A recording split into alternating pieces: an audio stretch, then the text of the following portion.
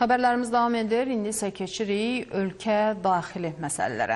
Bəzi işbazlar sosial şəbəkələrdə və və ya insanların sıx toplaşdığı yerlərdə elanlar yerləşdirərək vətəndaşlara güya ünvanlı sosial yardım almağa köməklik edəcəkləri vəd verirlər. Qarşılığında isə təbii ki, müəyyən ödə- ödəniş tələb edirlər.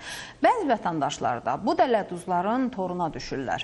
İndi Sosial Müdafiə Fondu bununla bağlı vətəndaşlara xəbərdarlıq edib izləyək.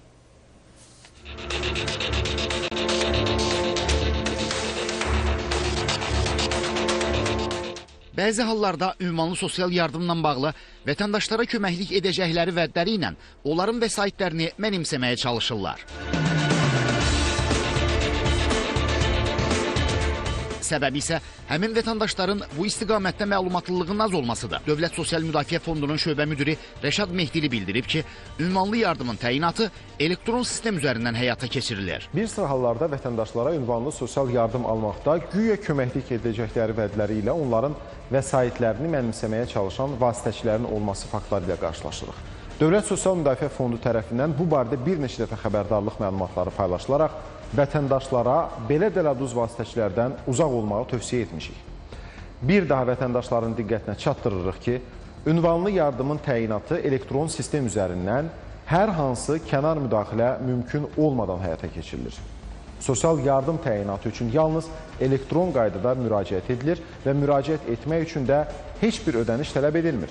Rəşad Mehdili bildirib ki, istənilən şəxs ünvanlı yardımın hansı ailələrə təyin edildiyi və sair barədə Nazirliyin müvafiq saytına daxil olaraq məlumat öyrənə bilərlər. elektron sistem üzərindən və müxtəlif qurumların informasiya ehtiyatlarına inteqrasiya əsasında baxılır. Yardım təyin olunub olunmamasına dair qərar elektron qaydada qəbul olunur və bununla bağlı olaraq vətəndaşlara SMS bildiriş göndərilir. İstənilən şəxs ünvanlı yardım, bu yardımın hansı ailələrə təyin edildiyi və s. barədə Nazirliyin sosial.gov.az saytından fəaliyyət bölməsindəki ünvanlı dövlət sosial yardımı alt bölməsindən ətraflı məlumat əldə edə bilər. Ha belə həmin alt bölmədə ünvanlı yardım üçün müraciət edə bilər.